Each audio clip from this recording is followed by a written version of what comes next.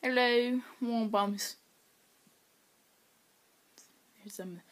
Hello, one bums. Today we're gonna be doing. I don't know what this is. Let's just call Mr. One Talks. Um, so I'm not gonna be uploading a video for a week. I'm going on a camp out for a week. I go tomorrow at eight. Um, what's tomorrow? Today's Sunday, so tomorrow's Monday. Well, that was, yeah. So Monday, I'm coming home on Saturday. So yeah, just don't be expecting any videos, no comments, no nothing. My substitute will be Champignon. Go watch his videos for a week. Go subscribe to him. He's cool. He's in Orlando, I think, in some apartment or something.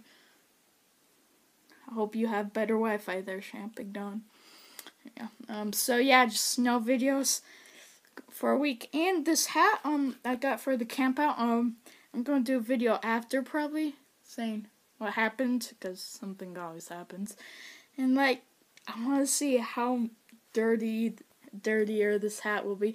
I'll also like do some GoPro slideshow or something of the camp. I don't know. Well, yeah. Oh, I also got a haircut. Pretty weird. I don't know. I, I never like it when I get haircuts.